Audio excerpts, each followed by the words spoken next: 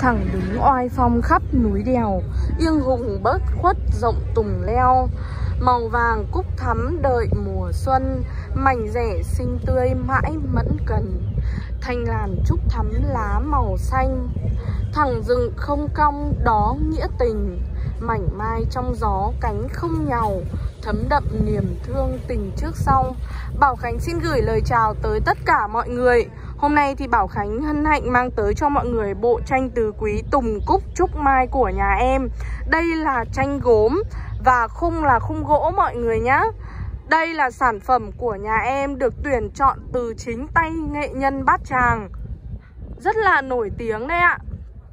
Bộ tranh này nhà em thì họa tiết là đắp nổi mọi người nhá, Rất là sang trọng đây ạ. Với những người nào mà chuẩn bị mua quà tặng tân gia, Biếu xếp hoặc là tặng đối tác thì không thể bỏ qua sản phẩm này của nhà em đâu ạ.